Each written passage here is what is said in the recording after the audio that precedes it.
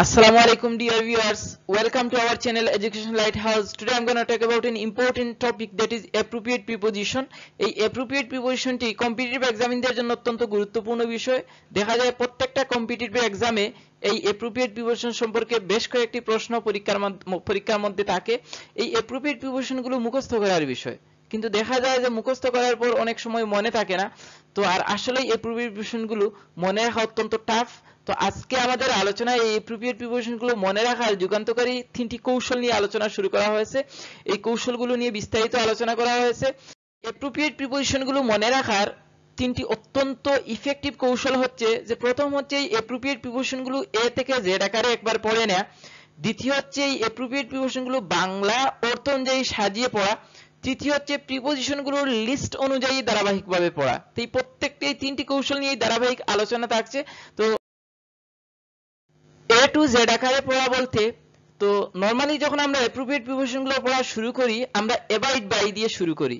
যে উদাহরণস্বরূপ abide by মেনে চলা, তারপর এবাইড বাই এর ব্যবহার একটা সেন্টেন্সে দেখি he has to avoid by his parents তার পিতামাতার কথাগুলো মেনে চলা উচিত বা তার পিতামাতাকে মেনে চলা উচিত, তারপরে তাকে avoid in accompanied by accompanied with এইভাবে তারপর একদম শেষে থাকে জাস্ট ফর প্রবল আগ্রহ। He has just for learning তার শেখার প্রতি আগ্রহ আছে।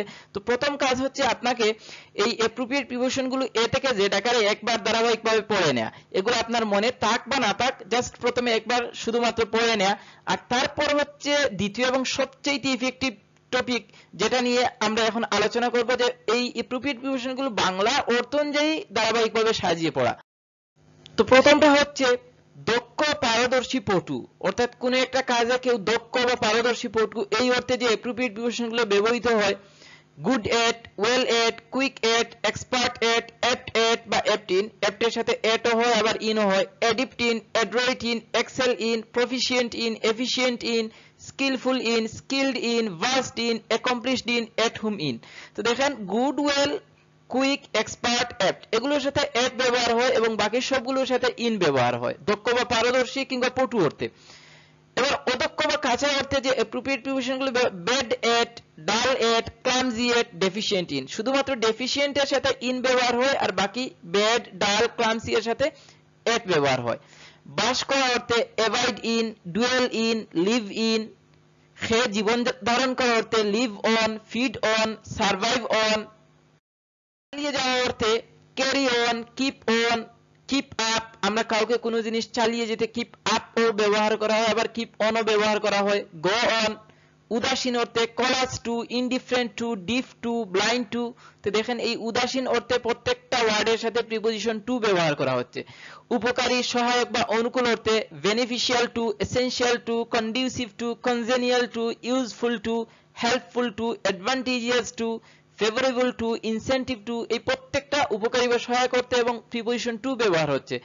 অপকারী, প্রতিকূল বা প্রতিকূল অর্থে harmful to, hurtful to, fatal to, injurious to, detrimental to, destructive to, deleterious to, prejudicial to, adverse to তাহলে প্রত্যেকটার সাথে টু প্রিপোজিশন ব্যবহার হচ্ছে। এই অপকারী, ক্ষতিকর বা প্রতিকূল অর্থে।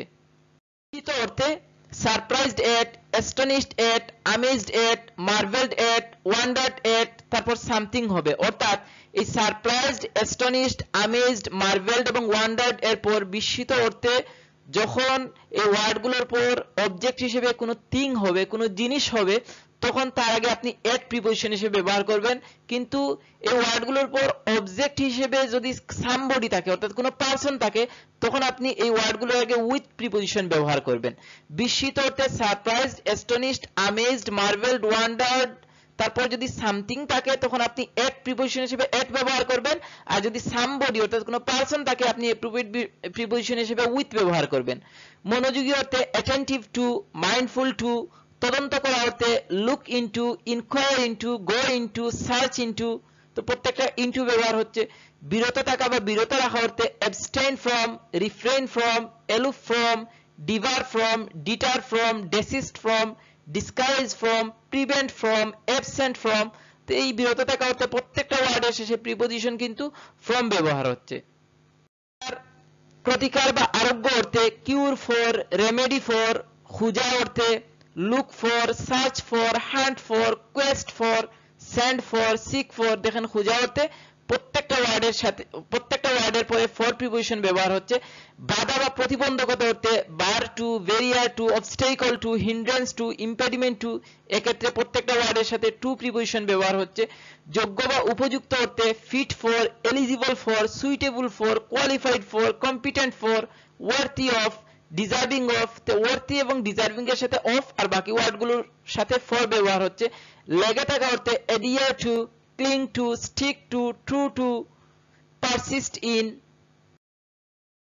নিকটে বা সংলগ্ন অর্থে adjacent to close to near to contiguous to তাকানো অর্থে look at stare at gaze at বিশ্বাস বা বিশ্বাস রাখা অর্থে believe in faith in trust in confide in প্রত্যেকটা ওয়ার্ডের সাথে ইন প্রিপোজিশন হচ্ছে সচেতন বা সতর্ক হওয়া অর্থে aware of beware of conscious of লালায়িত হওয়া অর্থে hanker after run after aspire after crave after প্রত্যাশা বা আকাঙ্ক্ষা করা অর্থে hope for desire for crave for long for wish for yearn for ambition for কিন্তু অ্যাসপায়ার টু অর্থাৎ প্রত্যাশা বা আকাঙ্ক্ষা করা অর্থে অ্যাসপায়ারের সাথে টু আর বাকি সবগুলোর সাথে ফর ব্যবহার হচ্ছে।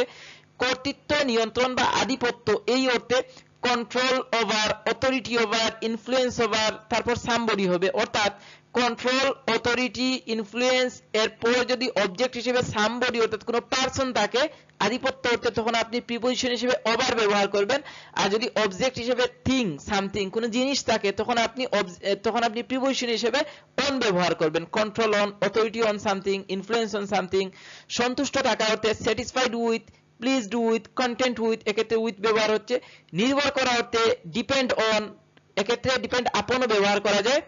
act on count on, rely on, bank on, hang on, hinge on তো আমরা এখানে ছাব্বিশটি বাংলা গ্রুপের মাধ্যমে প্রায় একশো পঁয়ত্রিশটি অ্যাপ্রোপ্রিয়েট প্রিপোজিশন শিখলাম। এই একশো পঁয়ত্রিশটি অ্যাপ্রোপ্রিয়েট প্রিপোজিশন যদি আপনি এই এই স্লাইডগুলোর পিডিএফ পেতে চান, তো ডেসক্রিপশন বক্সে দেয়া আমাদের সাথে ইমেইলে যোগাযোগ করুন, আমরা আপনাকে পিডিএফ দিয়ে দিব।